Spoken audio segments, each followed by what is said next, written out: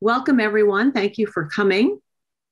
Um, I'll remind the people who are not in the room with us that you can uh, send us uh, questions on chat at any point, and we'll take a look at those once we get open to get to open discussion. Um, our guest today is Martha Minow who has taught at Harvard Law School and where she's also served as dean since 1981. In addition to Saving the News, uh, the subtitle of which is Why the Constitution Calls for Government Action to Preserve Freedom of, freedom of Speech, which is the book we're talking about today, um, she's the author of When, when Should Law Forgive from 2019. In Brown's Wake, Legacies of America's Constitutional Landmark from 2010, among many other books and articles. She's an expert in human rights and advocacy for members of racial and religious minorities and for women children and persons with disabilities. She also writes and teaches about digital communications, democracy, privatization, military justice, and ethnic and religious conflict. Um, I am Heather Hendershot, Director of, uh, of graduate studies and comparative media studies. And um, I work on uh, uh, political media, right wing media, news media. And I've got a book coming out this late this uh, fall called um, When the News Broke Chicago 1968 and the Polarizing uh, Polarization of America. And my last book was on William F. Buckley's Firing Line, and the one before that was on uh, Cold War right wing broadcasting. So those are the books that I've done that are sort of most relevant, I think, to our discussion today. Um, what we're going to do is take about 45 minutes or so. It's flexible um, for for Martha and I to go back and forth and, and talk about her book. And I expect she'll do most of the talking because she knows more about her book than I do. But um, I read it with great interest and made a tons of i'm surrounded by pages with notes on them around me here. So i i did bring in a few ideas.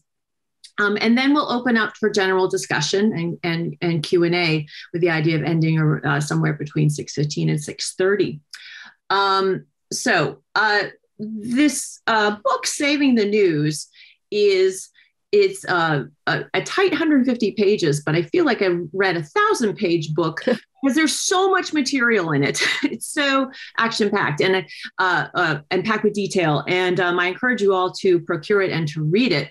Um, but I'll just give you the spoiler that there's there's four chapters and then there's a coda at the end that is almost like an op-ed to just like condense everything from the book into it. So it's a great way to um, get the the really key ideas of the book before you dive in.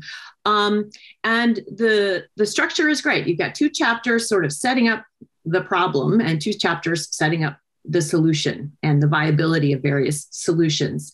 Um, and the the problem is uh, is is laid out as the you know the crisis in news right now um, on on various fronts on technological fronts uh, you know, the, the, the crisis of the way that algorithms work, the crisis of the creation of, of echo chambers. Um, and in particular, in the beginning of the book, uh, Martha talks about the um, decline of print journalism and uh, local newspapers in particular and she emphasizes the firing of staff layoffs reduction you know uh, and, and, and how this is a, a sort of a, a threat to uh, democracy, or rather, you know, how important the, the existence of journalism is to democracy in the US. In fact, she ends the book dramatically by saying, you know, the Constitution calls out, you know, one business, the news business, explicitly, um, because we need news to have a thriving democracy. Um, and then in the second half of the book, she asks, you know, does the First Amendment forbid, permit, or require government support of news industries? How could we find ways to support news industries uh, within the parameters of the First Amendment, which we absolutely can, she argues um, and what you know what kind of reforms could we make? So i wonder if we don't have to be too rigid but we could sort of uh, start by taking the book in order and look at that first half about how she lays out the, the problems um, uh, that, that we're facing in the, uh, the crisis if you will. And um, i'm going to read just one I'm, i posted I'm a post-it person. I've got a thousand post-its here, and they're all like, "Read this aloud, read that aloud," um, and it's really too much. But I I did mark one passage from uh, early on from page 34 that um, I thought was particularly interesting that I'm going to read to you uh, just to kick it off a little bit. I'll give you a sense of the prose style. Um, she writes the government was once assumed to be the main threat to the quote marketplace of ideas through punishments or bans on publication. But now the greater danger comes through overwhelming individuals with messages that swamp meaningful communication. Although quote more is better once seemed a sensible approach to freedom of speech the more provided by digital resources may destroy professional journalism, undermine public confidence in information, and negatively affect the provision and absorption of information needed for self government. The current situation differs from prior disruptions because now the very viability of news enterprises of getting local, regional, national, and international news to people is under siege. And you know, the, there's a sense in which, and we can talk more about the scarcity rationale for previous regulation as we we move forward. But you know, the rationale for FCC and other kinds of government censor or not censorship, but regulation used to be uh, the notion of scarcity that we have a broadcast spectrum that is scarce and has to be allocated, and it's a scarce resource that is owned by the public. And you might say that excess is the new scarcity in a sense. now there is too much uh, out there, and that this is, um, you know, the flip side, but also a rationale for certain kinds of regulation or action to be taken. Um, so, having said that, I wonder, Martha, if you could unpack for us a bit the parameters of the, the, the crisis that you delineate in the book, the problems that you see. Thanks so much. And thanks for the introduction and for the background. I'm a huge Mary Tyler Moore fan. Um, so, what, what I can say is that there really is a confluence of multiple events that have uh, joined together to create a world in which we have simultaneously uh, decline, shrinkage of the numbers of people who actually make a living uh, as journalists uh, pursuing some kind of fact based uh, uh, accounts of what's going on, or even accountability, investigative journalism. Uh, dramatic decline, particularly in the local news um, over the last 20 to 30 years. Uh, you know, something like uh, half to two thirds of the numbers of people who made a living as journalists now no longer do. Um, that's one problem. Another problem is the flooding, particularly in digital context, but not only, also in cable and broadcast, of information into people's worlds.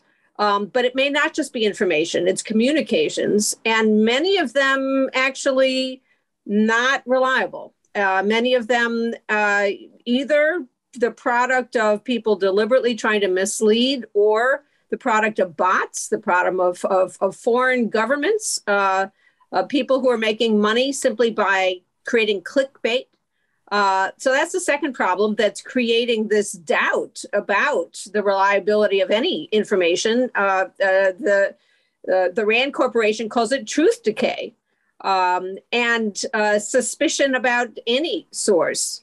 Um, and then there's a third problem, which is the decline of any kind of um, trust in any institution in this country, and in particular, the fragility of democracies. In this country, but also in other countries around the world. And it's the confluence of those three that really led me to write this book.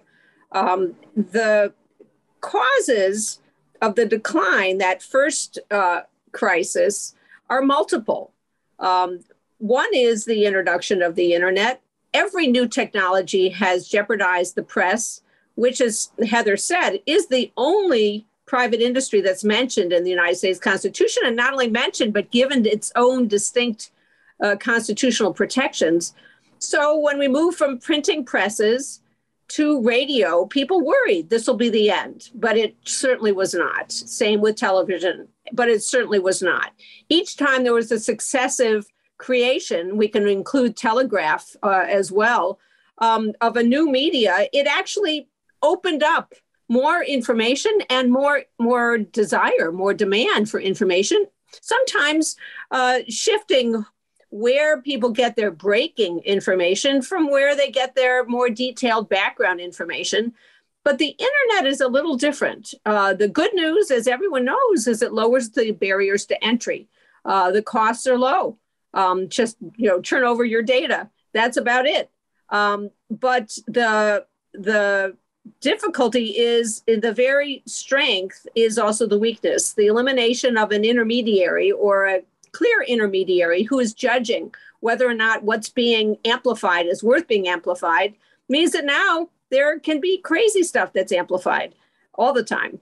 Uh, and so that's that's a big problem. But there's a financial dimension to it as well.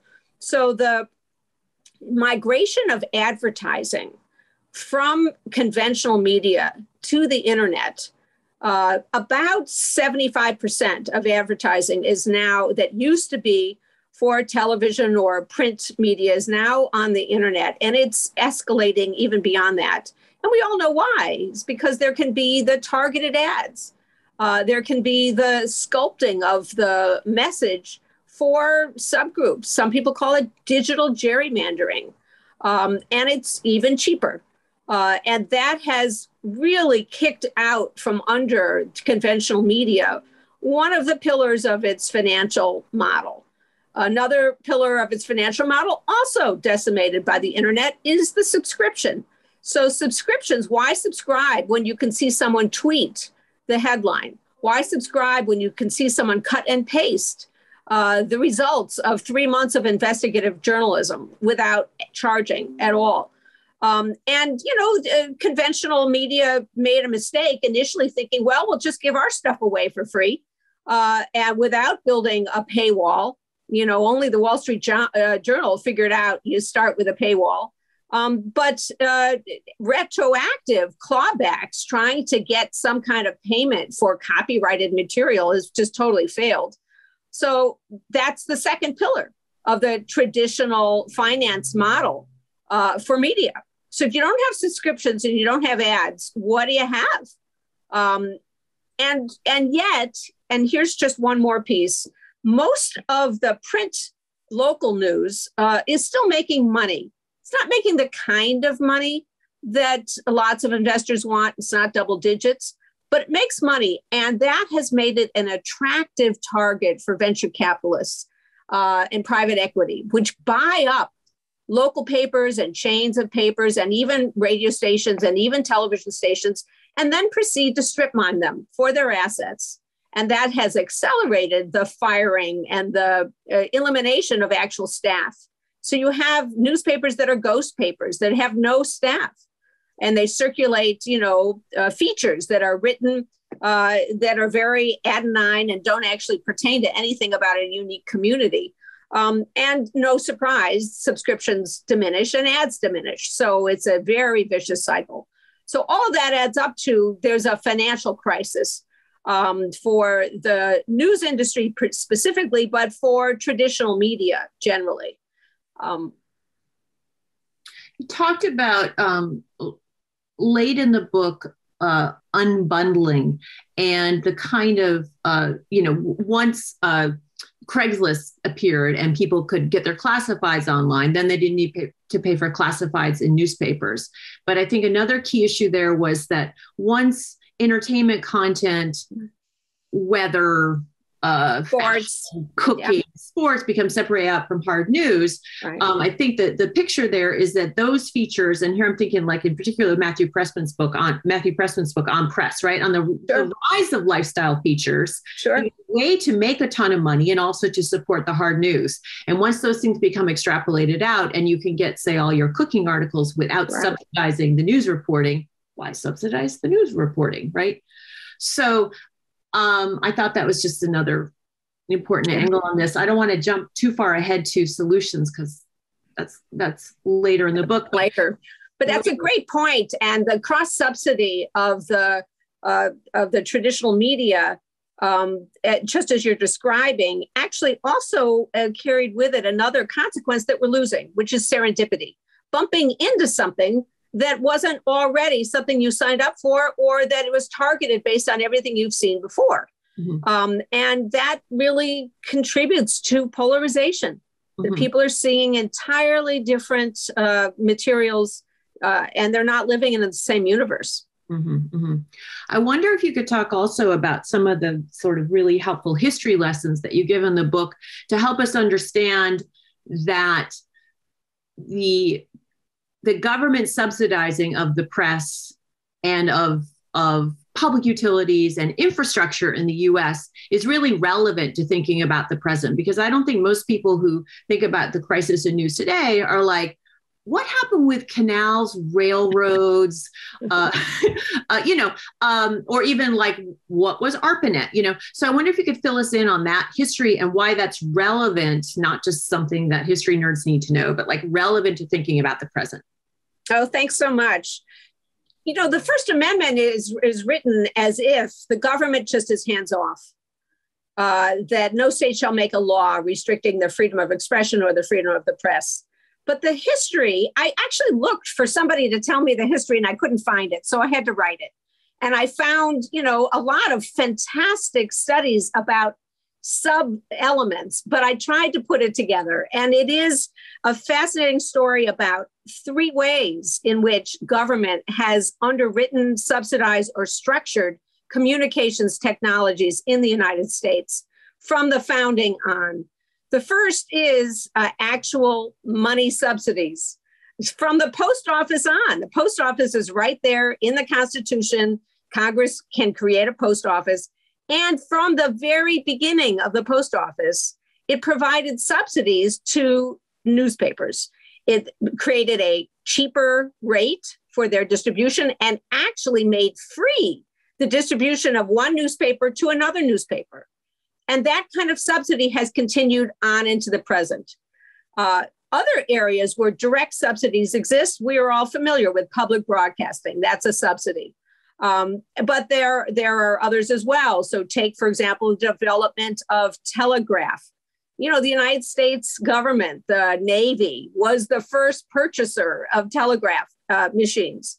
Um, and then there are somewhat more subtle forms of government support. For example, uh, the way in which the government actually took land. Government has the power to take private land if it gives compensation. It took land to make it available to telegraph providers, to the same way it did for railroads. Um, and of course, it took the licensing power. This is the second way in which the government has structured uh, the media. The licensing power you refer to, dealing with the scarcity of signals for radio and then television, but also even for cable. Uh, and with a kind of regulatory oversight restricting the numbers of people so that there won't be too much uh, interference, but also then layering on some public service obligations. So that's the second way the government structuring markets, regulating then the duties attached to the markets. And the third way is a little more complicated, which is the bundle of rules from antitrust to public utility to other areas where the law actually does a combination of subsidy, structuring markets, creating liabilities, creating immunities. And just as an example, um, Section 230 of the Communications Decency Act is in essence a subsidy to the internet uh, platforms, but not to conventional media because the internet platforms are literally immunized from legal rules that apply to everybody else rules against defamation, rules against uh, any other kind of consumer protection violation. Um, and that makes it cheaper for the internet companies to operate. Um, other examples, as you note, you know, the government very much, this is states and federal government, invested in the creation of uh, an infrastructure during the 19th century and the 20th century. Some of that was communications infrastructure. The internet itself is a perfect example. The Department of Defense paid for the research and the building of ARPANET, which then became the internet.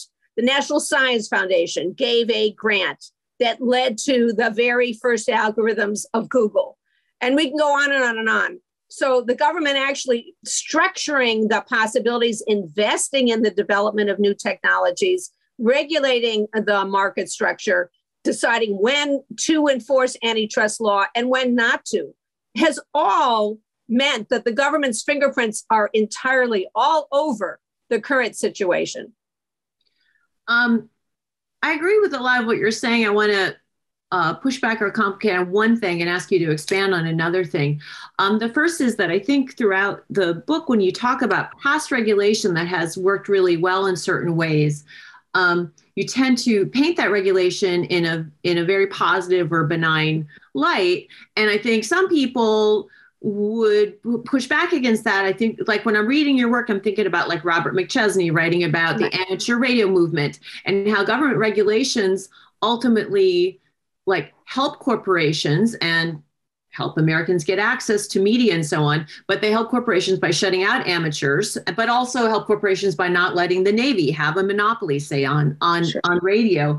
Um, and uh, uh, you know that that or or even the going back further to thinking about like the railroads, like taking land is not a benign thing. Who had that land? Whose land? Right. Whose land? Exactly, exactly. So I wonder if you could um, unpack that a little bit for us. And the the the second part is um, I'd like to take some more time to talk about Section 230. But I think before I ask you that, I want uh, want you to respond to the first part, and then we can switch uh, a little bit to talk about Section 230 you know, I think a, a, very fair criticism of my work is that there's a tendency to glorify parts of the past, which had their own major problems.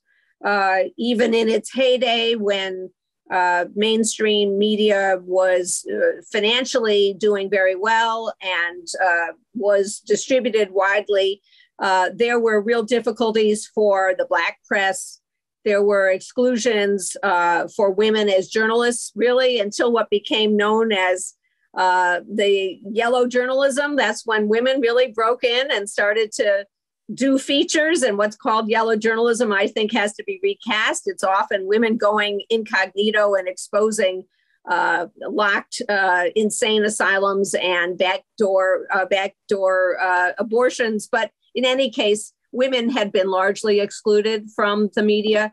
Um, and yes, uh, the the big companies have always tried to exclude anyone entering, whether it was conventional um, uh, uh, the the newspaper owners that would buy up competitors, or uh, the the people who created networks in broadcast and really shut down some alternatives. So all of that's true.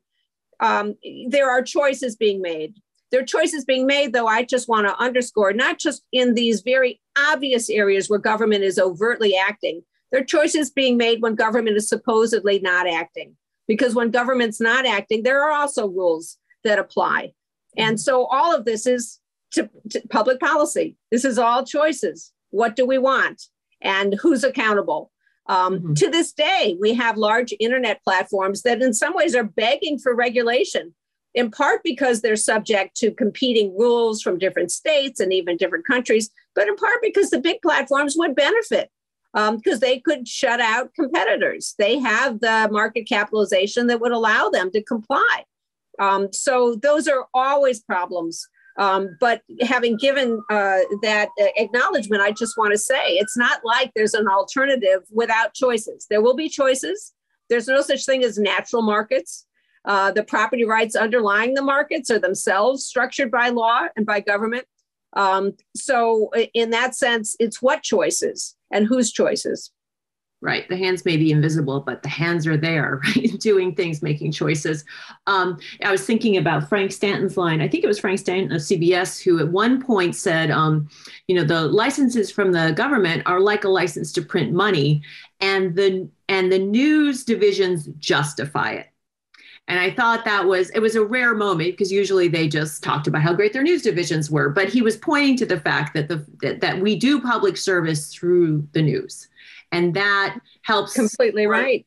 Uh, the Beverly Hillbillies and whatever we want to put out to to sell ads and and and to make money, um, and that you know that was like a cynical take on it. At the same time that there are sort of some good reasons to romanticize that era in news. Um, I think you know for sure.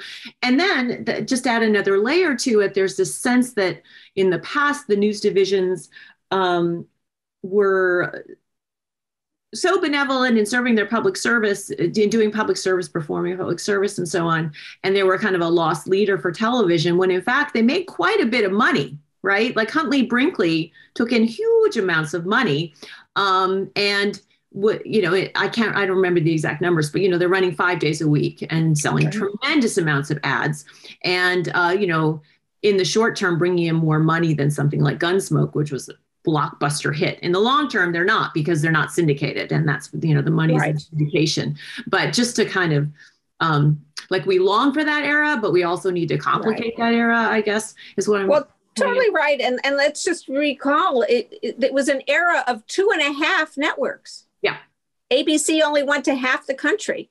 So yeah. there was a kind of, you know, a oligopoly of just a few providers.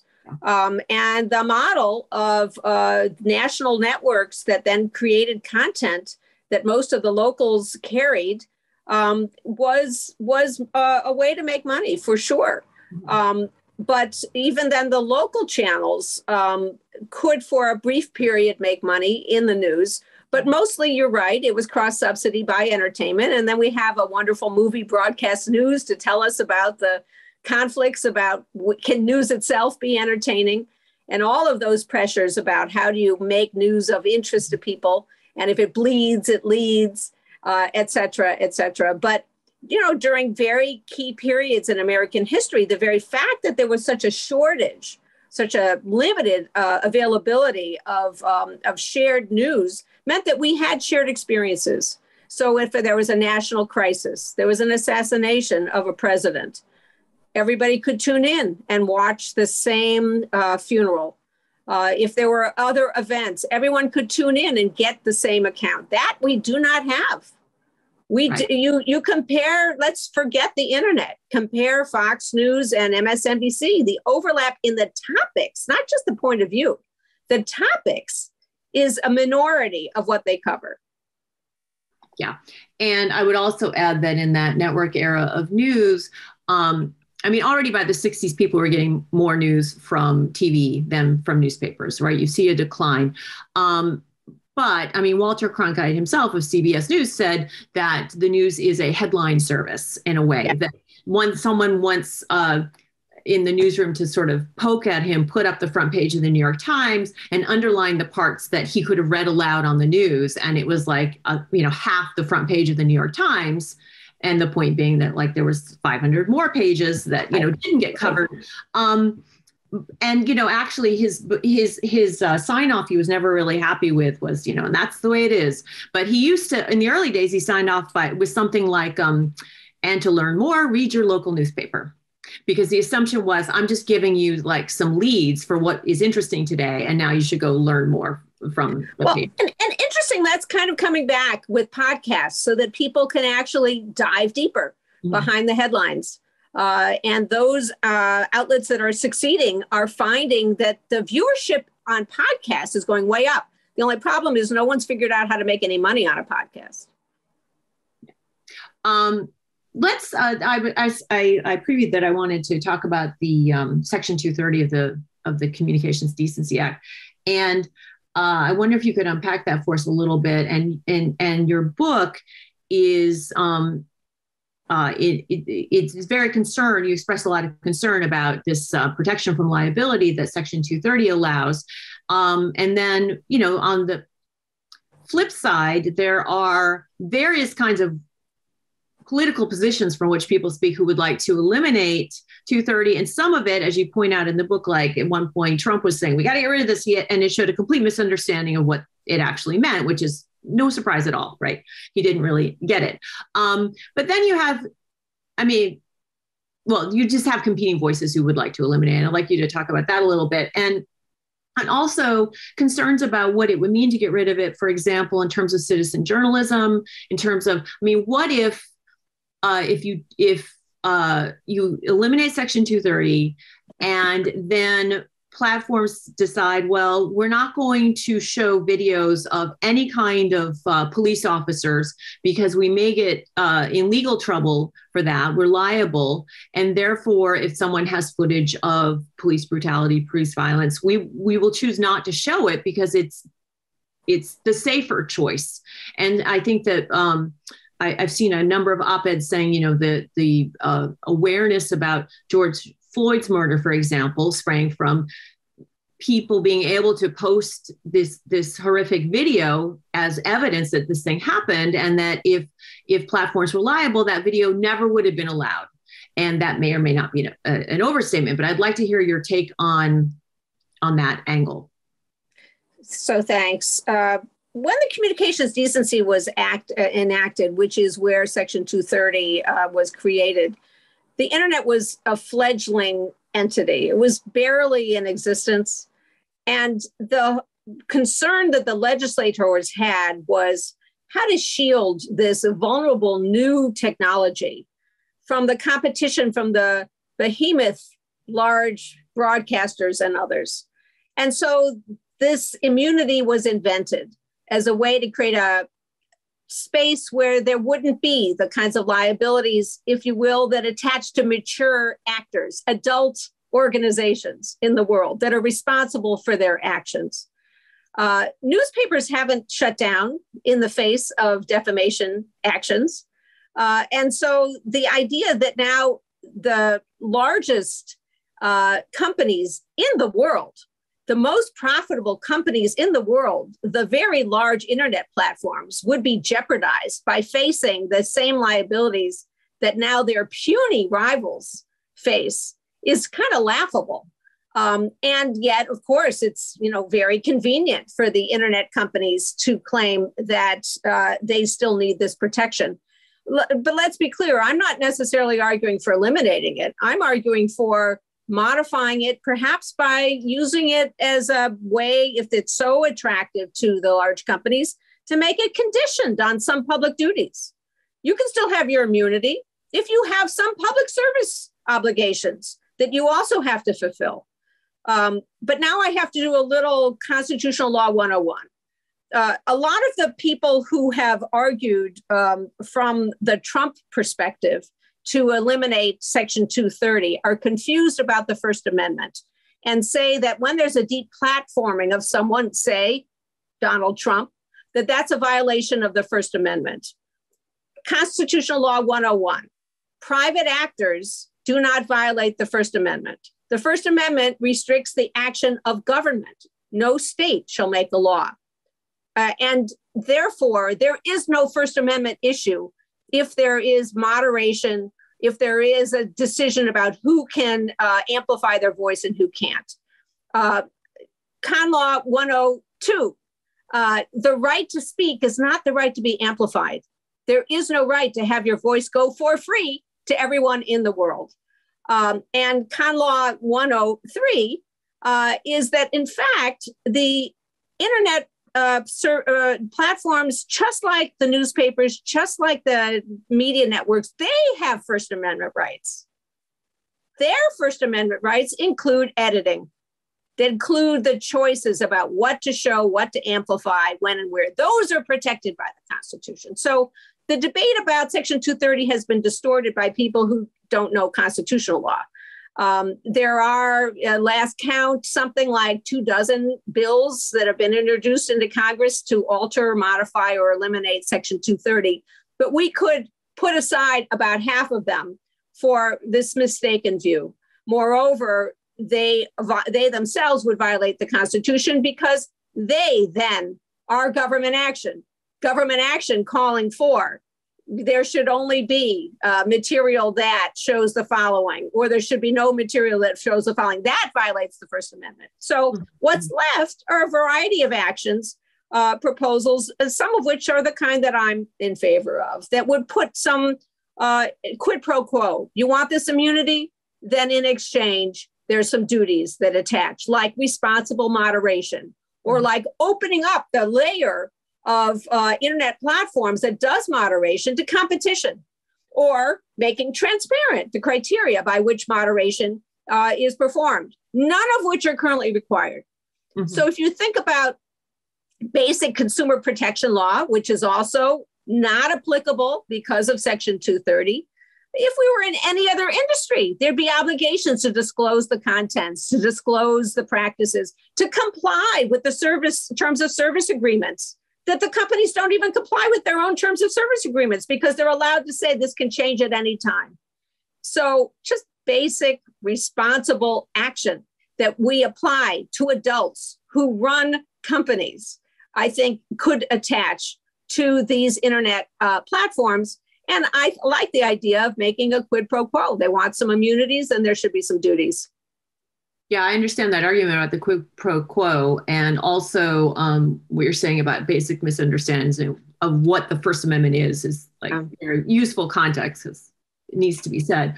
Um, part of what I was uh, getting at was would be with the elimination of Section 230, and I don't know if this would be relevant with a modification or a quid pro quo kind of situation with Section 230, but I was also just you know asking if there could be a chilling effect on on speech. Because unlike in the newspapers newspapers don't just put out what a bunch of people who don't work for the newspaper say in the way that platforms let anyone come in and, and say their stuff. So you know would citizen journalism be basically kaput because if a company is like yeah we're going to censor this out because we don't want to deal with liability issues does that mean that you we don't see someone's uh, video footage of being pulled over um, by a well, I'm a little perplexed about what exactly is the liability. So, so the police officer is going to sue, saying that this is defaming me. Um, but truth is a defense to a defamation action. And the fact that it, it, it there is uh, video footage, it might be in fact useful against deep fakes, which mm-hmm. are a serious problem. Mm-hmm. But if it actually happened, that's that's not going to produce liability. Mm-hmm. Yeah, I guess I guess um, I'm thinking not. I'm thinking about preemptively people just being like, well, you know, in a way, it's like with the fairness doctrine, where technically the fairness doctrine said broadcasters are obliged to cover controversial issues of public importance, and when they do so, they are obliged to cover, you know, give both sides multiple points of view, right? And so when they did cover controversial issues, they showed both sides, um, or tried to, or most often did found a way to balance out the coverage at least over the course of their schedule. Um, but one effect was sometimes a, that uh, an avoidance of showing controversial issues of public importance, and especially on the local level, I would say more than the national level. Let's right. just not even get into this this crisis because it's controversial. It's too yeah. much work for us, and so I'm and so there is I I think the fairness doctrine was well intentioned. It had some flaws, but it did sometimes have a chilling effect on speech. And I'm just wondering if adjustments to Section 230 might also have a chilling effect on speech, regardless of the fact that it shouldn't, because defamation, you know, if you show a crime, it's not defamation, right. it's evidence of a crime. It shouldn't work that way. But if platforms decide, well, we'd rather not ha- take any chances, then you have that sort of chilling effect. So I get the question, and yes, the fairness doctrine in particular did lead uh, some mainstream broadcasters to say we want to stay out of this because we don't want to even figure out what are the competing points of view, mm-hmm. which was in tension with their obligation to cover uh, issues of importance. So it was really up to the enforcement uh, will of the Federal Communications Commission whether or not they actually demanded uh, compliance with both of those duties, and and that varied depending on the administration. Um, but I don't think that's the issue uh, that's presented. Those dynamics are not presented uh, with Section 230. Or maybe more a better way to put it is we have the lessons of the misapplications and negative effects of the fairness doctrine that should guide any revisions of Section 230. We can learn from experience. Mm-hmm. And I just want to underscore again that the platform companies currently edit, they moderate, they do all the time they take down all the time.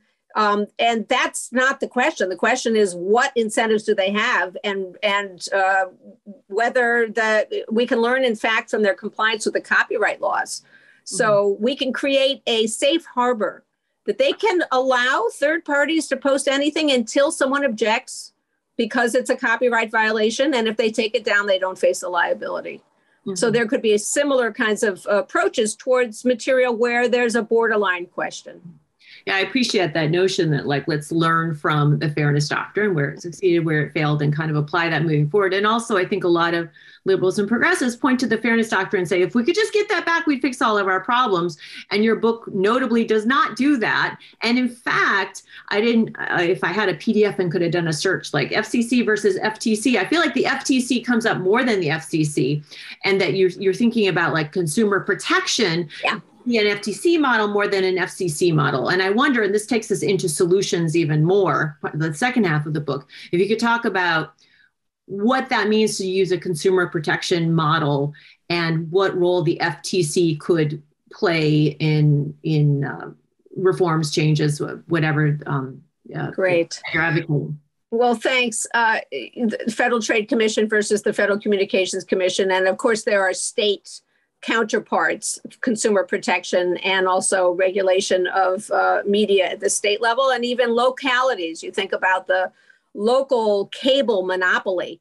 The local governments have a role to play here that they have not exercised and could actually be much more vigorous in requiring public service dimensions when they award a monopoly to a cable provider. So, three buckets of solutions are what I propose, none of which alone will solve this problem. And even all together, they're not going to solve the problem. But I think that they could make some dent in the problem. Uh, the first bucket um, is to, as I've already been suggesting, to hold the internet companies, the large platforms, responsible for their actions as if they were adult companies. And there's several areas uh, copyright enforcement, I would go further than the current takedown practices and require payments for the uh, circulation of copyrighted material.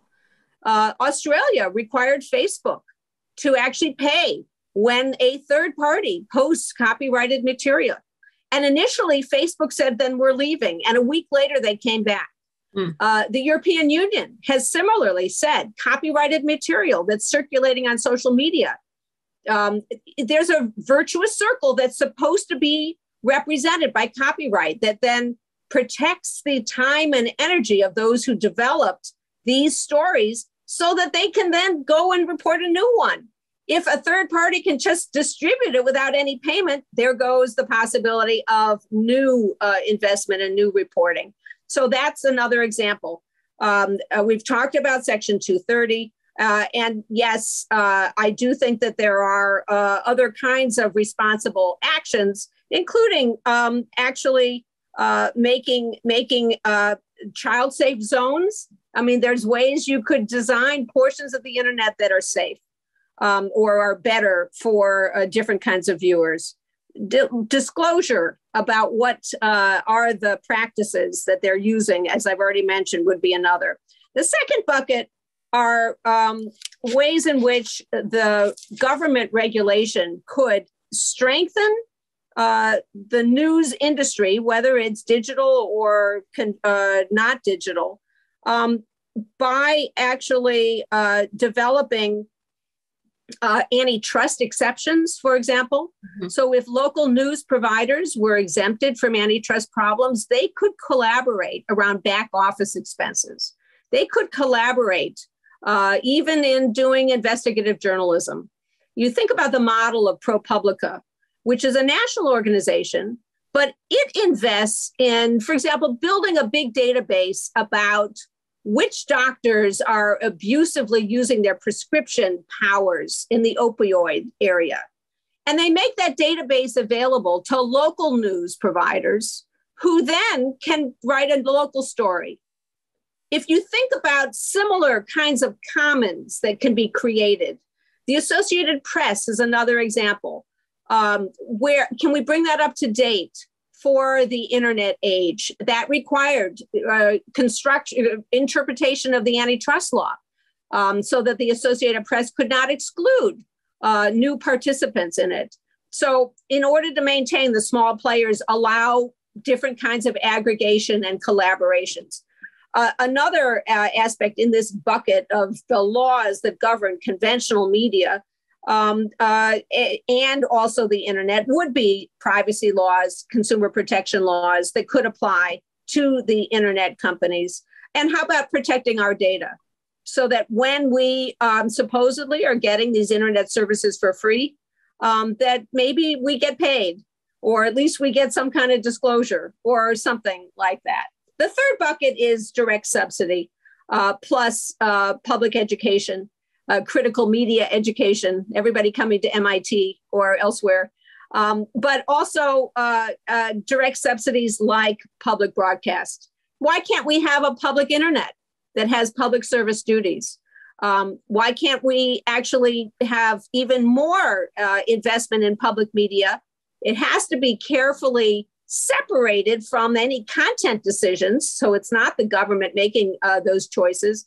I should disclose I'm on the board of uh, uh, WGBH here in Boston, and, which is very mindful of that and tries to have plural sources of funding.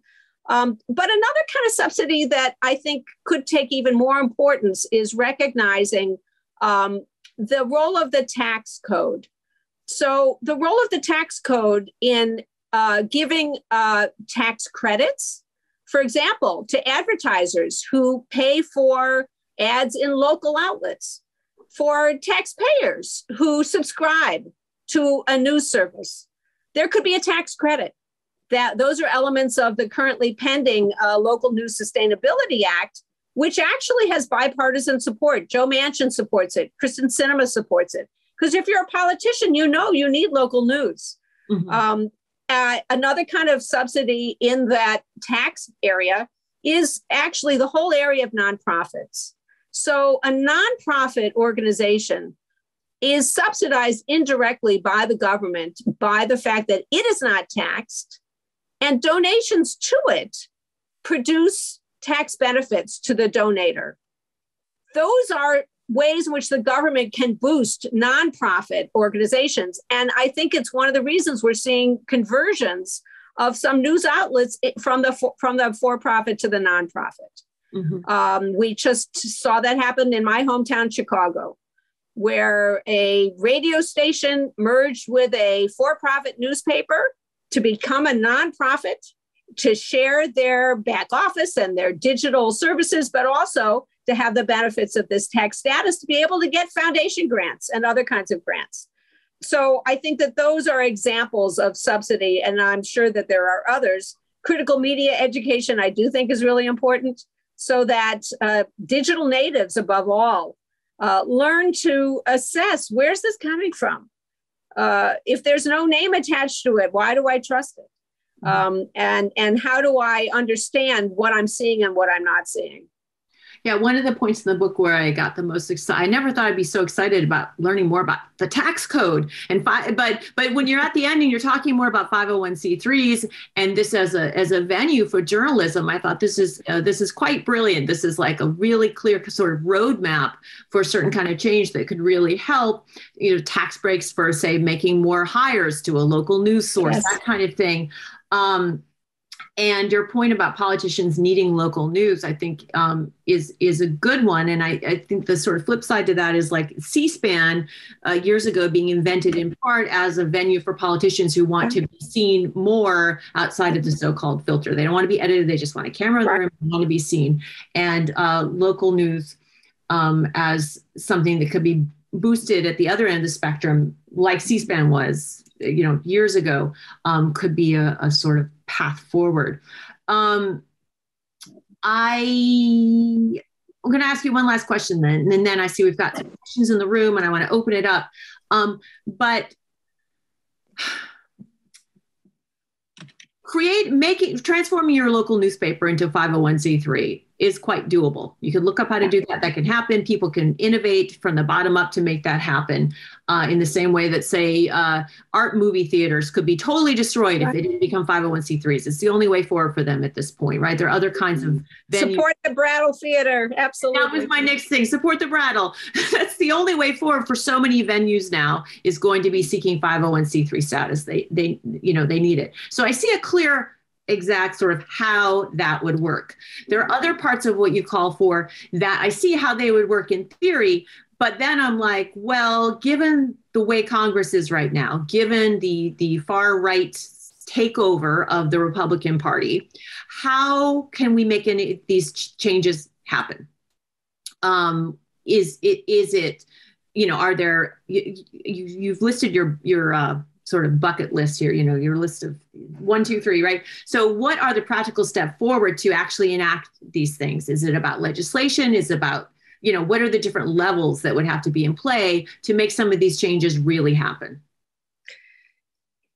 You know, it would be great to improve the government generally, but in the world that we currently live in, Uh, one approach, as I've already suggested, is to find those topics where there is bipartisan support, and there surprisingly is a fair amount in this area. And that even includes uh, expanding the jurisdiction of the Federal Trade Commission. Uh, and there's interest in doing that. So there's legislation that's possible, but there's also administrative action. And if you elect a president who appoints someone to run the Federal Trade Commission who cares about these things, then the Federal Trade Commission can actually shift its resources to this area, mm-hmm. uh, enact regulations, use its subsidy powers, which it has, use its investigative powers. They already have those powers. It's a question about is that a priority? Similarly, elect a president who actually cares about the antitrust laws and wants to enforce them uh, and makes appointments to the Department of Justice Antitrust Division and the Federal Trade Commission of people who actually believe that the antitrust law applies to the large internet companies. Um, uh, another thing that's possible, though, is to recognize state governments. State governments are currently considering some of these subsidies using state taxation uh, for the nonprofit news and even the for profit news. Lo- uh, local News Sustainability Act versions have been introduced in several states. And I have a group of students who are working on having it introduced in Massachusetts. Um, in addition, fascinatingly, this is kind of uh, a pool bank shot. If there are a couple of states that start to regulate, guess what? The large internet platforms and the large broadcasters will go to Congress and say, please, would you legislate because we are subject to these competing rules in different states. So, actually, there's a lot that can be done uh, to motivate Congress or to work with other actors. Um, I do think that philanthropy matters a lot for my third bucket. Um, and uh, the, the, and I think that universities have a role to play. You know, in many states in the country right now, if you go to the state capitol, the only journalist who is covering what is going on is a university or high school journalist. Mm-hmm there have been serious proposals that local news actually now is in many places a function of colleges and universities. Well, if so, then let's actually support it. Um, it will require philanthropy, it may require public dollars. But if that's the only place that's actually covering the legislation that's being debated or the corruption that's not being exposed, there should be some some uh, public uh, commitment uh, to cover it. You know, we have evidence that those communities that lose local journalism have notable, measurable increases in corruption, corruption by the government and corruption by private actors. Um, Flint, Michigan. I am so haunted by the story of Flint, Michigan, and the lead in the waters.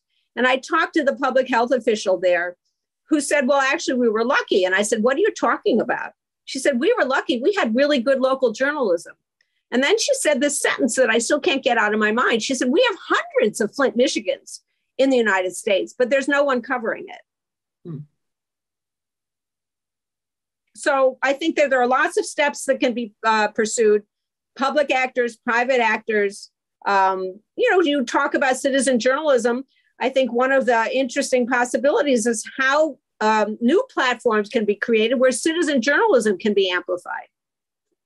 That's great. That's very helpful. And it's very just really specific. I appreciate that. And and I just was going to add as a side note, like the the college and university point, I think is so important. And it also makes me think about radio and how radio has it hasn't died people are making millions of dollars on it right but you know a local radio station is not local in any way there's a pre-programmed right. playlist the local dj just might say words between the songs that he or she has been told to play whereas college radio is where people actually make yes. programming decisions and could potentially be doing say local reporting not Absolutely. playing uh, un- unusual music you know so i think that that pointing to college radio is another a good example um, I want to switch to, uh, we can have some questions from people whose faces we can see for sure, but uh, we also have some in the, the Q&A here. Um, there's one here from Ed Bershinger.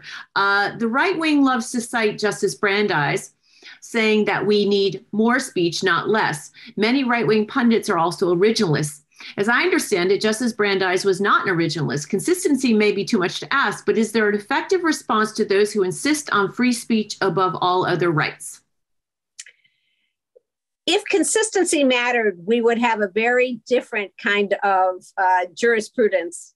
You know, we have uh, conservatives who claim to be originalists until they're not. Um, so the what I tell my students all the time is we just have to know how to speak all of these dialects and and it is possible to make arguments about speech as an originalist as a pragmatist uh, as a structuralist all the different methods um, what i think is probably um, most uh, valuable here is actually to point to justice brandeis's own uh, beliefs uh, in the market but in a regulated market mm-hmm. um, and to identify the ways in which um, he and others on the court um, showed that uh, you need a regulation in order to have freedom.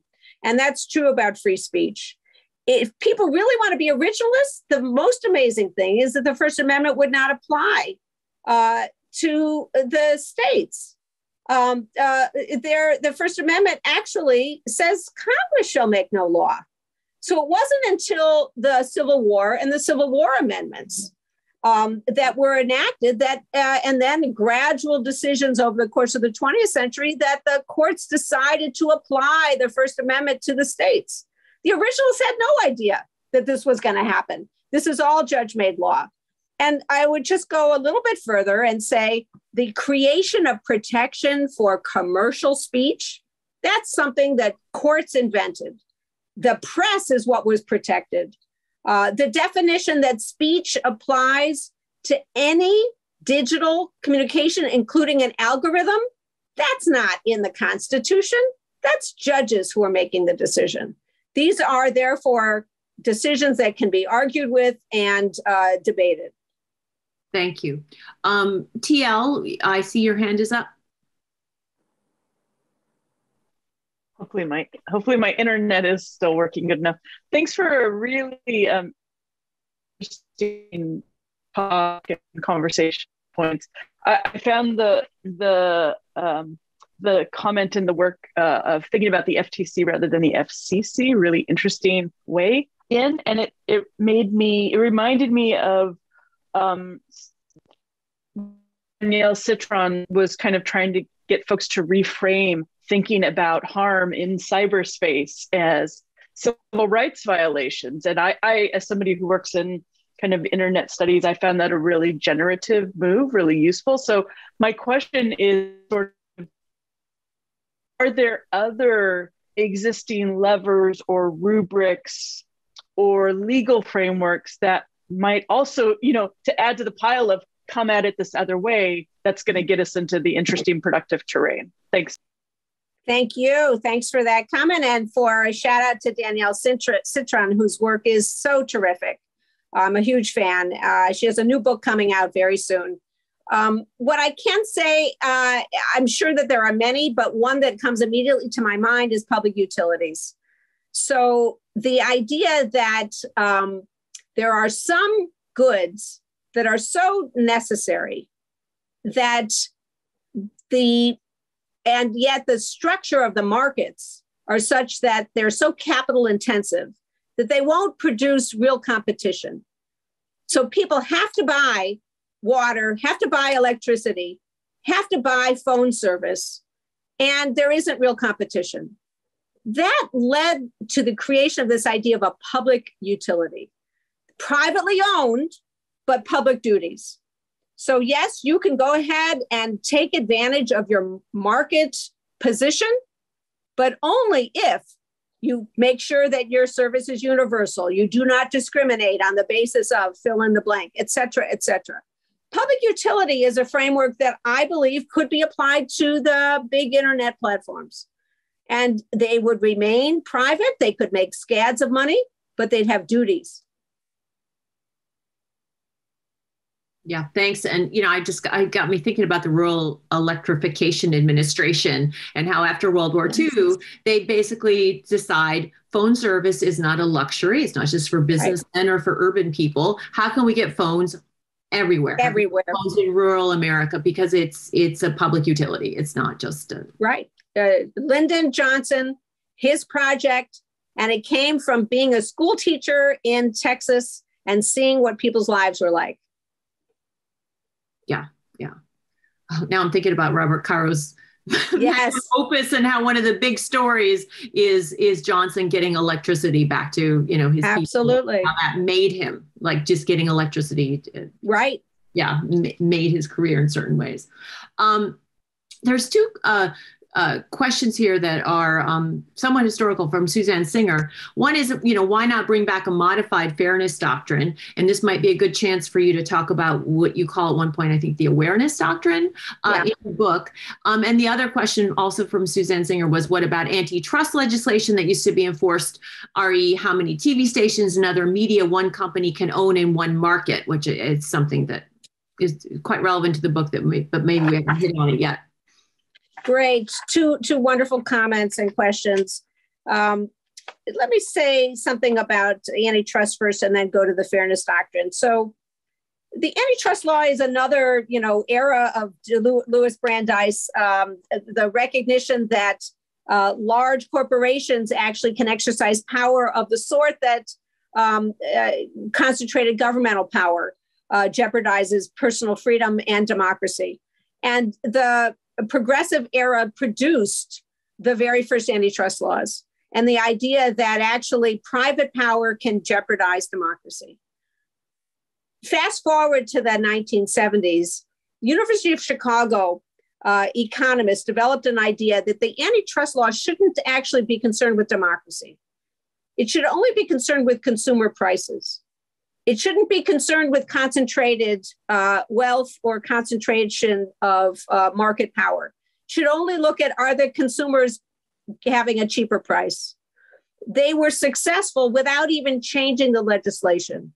Their theory was adopted by judges who interpreted the law and prosecutors who interpreted the law. Apply it to the internet. There are no prices and so the idea that there's any check checked on is there too much being charged or not being charged, it's one reason there's been so little antitrust action with regard to the internet. Well, there are currently uh, uh, now a bunch of people are saying, let's go back to the original idea about antitrust. The concentrated private power is a problem, uh, that it's a problem for democracy, it's a problem for markets. And then there's some people actually suggesting that uh, the internet is not for free. We are giving over our data. We just need to be a little bit more imaginative to understand what a price is. And then we could actually regulate here. Mm-hmm. So Lina Khan, who's now, you know, at the Federal Trade Commission, uh, the Department of Justice, uh, Tim Wu, who's in the White House. These are people who believe what I've just described. Whether there will be action or political will, I don't know. But it just goes to show that uh, antitrust remains a viable tool if we have the political will and the legal uh, enforcement. Uh, if it doesn't happen at the national level, it could happen at the state level. Antitrust is a power of state governments as well. Um, fairness doctrine. Well, as Heather said before, the justification for the fairness doctrine was predicated on the scarcity of the signal that in order to get a license to operate a radio or a television station, uh, an applicant had to promise to fulfill certain duties. And one of the duties was to provide coverage of controversial subjects, coverage of local news, and uh, a fair sampling of competing viewpoints.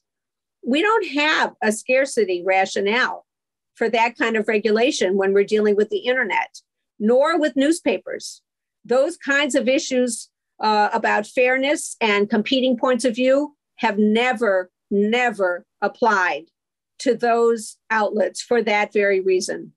Uh, the fairness doctrine was upheld legally in the Supreme Court um, because of this anomaly, this unusual circumstance Um, but it's an exception to the usual rule that editors have free speech rights, that viewpoint uh, is itself protected, uh, and therefore um, the editorial judgment uh, by a, uh, uh, a, a, internet platform, by a newspaper, by a cable uh, is actually protected by the First Amendment. As you have written about, Heather, the talk radio and the development of right wing media is all about the First Amendment. Um, and uh, the, it, there's not any constitutional way.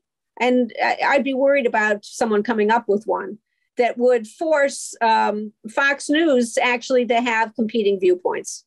Um, also, it might actually make people think that they're really doing that because they're not.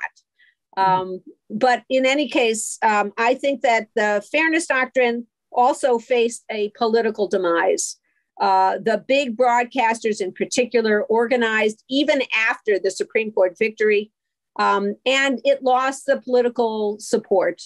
And so ultimately, uh, under the Reagan administration, uh, it was really disconnected, and it really took a while to the Clinton administration for it to go off the books. Finally, the FCC eliminated it altogether. I had a student though in uh, who responded to my telling of this history who said, "Well, why can't we have an awareness doctrine?" And I love this idea, and I give him credit in the book.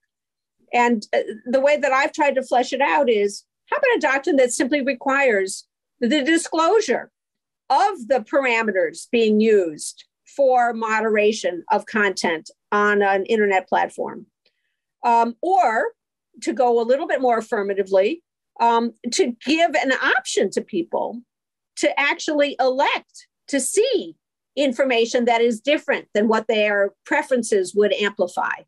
So, a group of undergraduates at the University of Chicago in one semester for a class project came up with something that they called Flipside using uh, you know algorithmic tools machine learning to study content to be able really cheaply to identify competing viewpoints in publicly available media uh, about various topics. Now, I have no disrespect for undergraduates at the University of Chicago, but if they could come up with that in one semester, imagine what the genius engineers at Meta, at Twitter could come up with. If we really actually uh, required or maybe even just gave incentives for them to come up with awareness techniques for their users to actually find ways to have serendipity to encounter um, content that's not just amplifying what they um, have looked at before. I love that example of flip side from your from your book. And um, you know the, the just the kind of the way that these students found a way to I mean, it seems to me all about the interface. Like you can't just be like, it can't be like click, click, click. And you make the point in your book that it would take the average person 250 hours per year to, or 20, 250 hours each year to each read year. everything they click off on that they're agreeing to, like terms yeah. of, you know, yeah, this, this, this, right. Because nobody reads that stuff. So you'd have to find a system where people, um, actually want to engage with the choices that they're making about how their data is being shared and what's being shown to them and right. so on. Um, the other thing I wanted to add was um, about the, the history of the fairness doctrine in its fall is that when it was starting to kind of teeter, one thing that I find really interesting is that there were so many conservative and right wing groups that actually wanted to keep it. Whereas now they, you know, they, they, call it the hush rush law. Everyone was trying to make Rush Limbaugh shut up by bringing it back. But, you know, Phyllis Schlafly was in support of the fairness yeah. doctrine. The NRA supported the fairness doctrine because they're like, if people are going to go out there and attack us, we need a legal way to attack. Respond. And exactly right of reply. Well, you know, we used to have people supporting democracy in elections also. Yeah, exactly. And that's uh, yikes. Yeah. Um, we have a question from one of our graduate students that's uh, in the, the Q&A area over here. I'm going to read it to you. Uh, Thomas, uh, Tomas Guarna from CMS here. The note on Section 230 as subsidy and public investment in early internet infrastructure is extremely interesting. It does seem like this public investment ended about 20 years ago, and today it would maybe be unlikely that 230 were passed. Do you see a change here in how the US government invests in communicative infrastructure, and how would you make sense of it? Wow, very interesting. You know, I I don't have access to the defense budget. But the Defense Department still is investing dramatically in infrastructure that includes communications infrastructure. And remember, the internet itself was a, a DARPA project. Um, and the uh, the boost to the telegraph um, came from uh, national security concerns. Um, and so I, I, I think there might well be uh, investments that I'm just not aware of. Um, but I agree, we have had kind of a falling off of what was the big tradition in the United States, 19th century, especially early 20th century, especially, but 1950s, 1960s, government priming the pump by investing in infrastructure. You know, to some extent, that's been the argument of uh, the Biden administration, not to get partisan about it, but a Build Back Better is to invest in the infrastructure, to invest in roads and bridges. And, you know, a big part of that bill is broadband. There's a whole internet portion, a very serious commitment about tech investment. Um, so there just at the moment is a political logjam. Um, why has that fallen off? Well, we've had, you know, about 30, 40 years of an attack on government with the claim that it's not effective and it's not it's not uh, an efficient way uh, to allocate resources. What's really striking is the United States is likely to fall behind. Leave communications technology. Let's just talk about batteries and let's talk about um, uh, any kind of uh, environmentally uh, sustainable energy. Other countries have much more investment in those kinds of infrastructure than the United States is.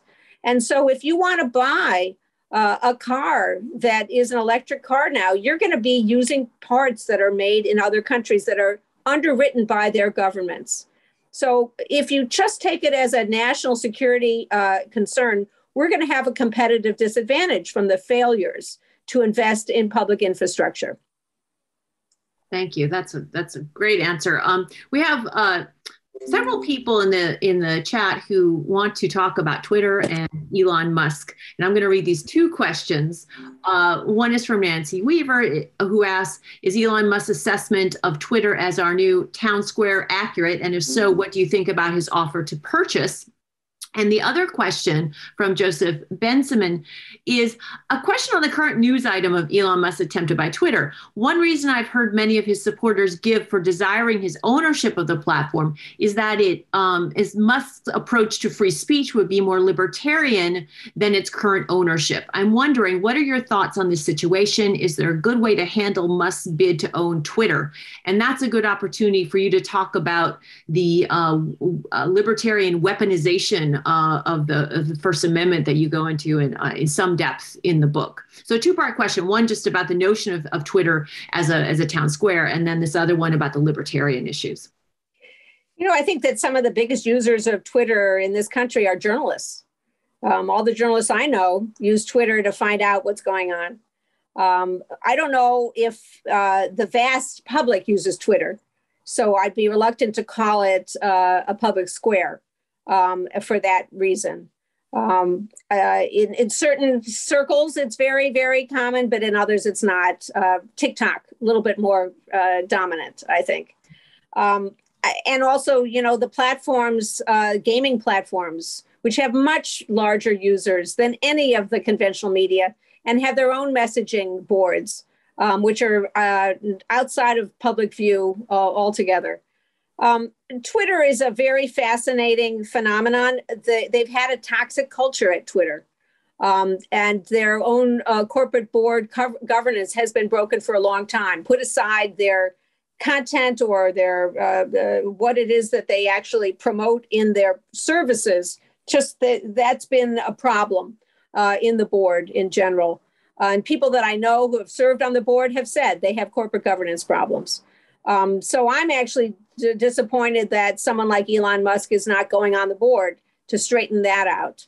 Um, buying the company, uh, you know, depends what he's going to do with it. I have no idea what he would do with it. The idea that he would eliminate uh, editing uh, is unimaginable. The vast majority of moderated uh, activity on Twitter and on any of the platforms is to eliminate spam. Y- you have to have moderation. There has to be moderation. There will be moderation. So the only question is along what lines. Another related question is when you're using machine learning tools to do the moderation, which everybody has to do because the scale is so monumental, is what level of error do people accept? And that is something that is worthy of discussion. I'm not singling out uh, Twitter. I think it's an issue for all of the platforms. And I just myself believe that if you look at the choices from the selection of the data sets on which the machine learning is taught to the level of error that's accepted to the level of feedback and accounting that is used to then feed back into the system to modify the data sets.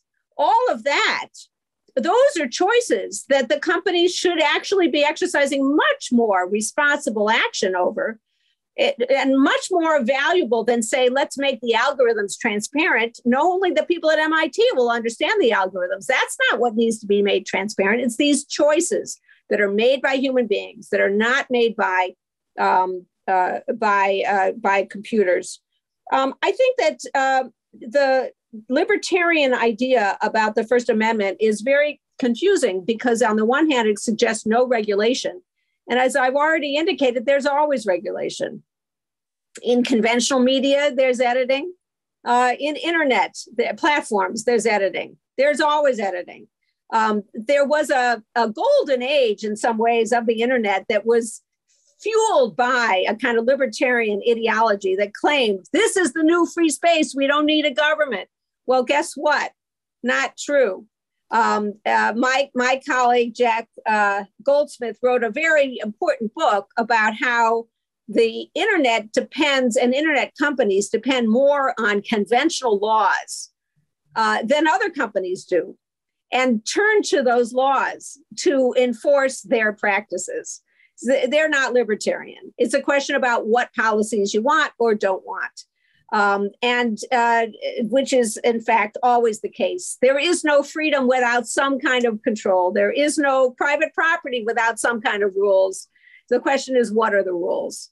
When I call a certain direction in Supreme Court jurisprudence libertarian First Amendment, what I mean is that there's a kind of um, uh, ruthless hatchet uh, being taken to any governmental regulation on the grounds that it's speech.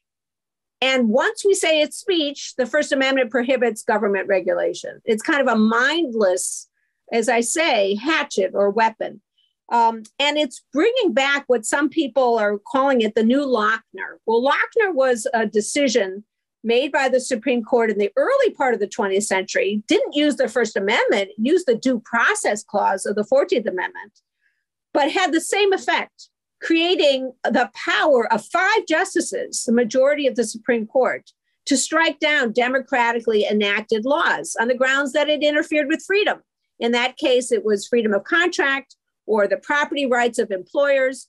And using that theory, the Supreme Court struck down wages and hours like uh, legislation, any kind of workplace regulation, w- rules about unions. Same thing happened then when the New Deal started the first three years of the New Deal. The five members of the Supreme Court struck down the New Deal, saying it violates freedom of contract, private property. In both instances, the country rebelled. The country said, This is a disaster. We need health and safety regulations. And after the Depression, we need a new deal that's going to actually regulate the economy. And I suspect that will happen with this new Lochner, the use of the First Amendment to strike down uh, Federal Trade Commission action, antitrust action, uh, because it goes too far. But in the meantime, there's a lot of damage uh, that is occurring with the Supreme Court, you know, striking down all kinds of laws saying that it's speech. And look, we have lower courts that have said anything on the internet is speech, even if it's a sale. Uh, and initially, internet companies said that's why sex trafficking cannot be regulated because it's just speech on the internet. Congress actually rejected that and agreed to amend Section 230 so that there's a carve out for sex trafficking on internet platforms. It's about political will. Mm. Um, well, I think maybe we could end on that extremely powerful note.